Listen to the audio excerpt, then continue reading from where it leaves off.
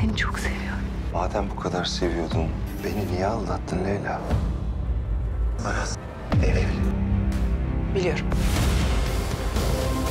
Hoş geldiniz. Ben de çıkıyorum. Afiyet olsun. Άπιστος. Απόψε στις 9 στον Sky.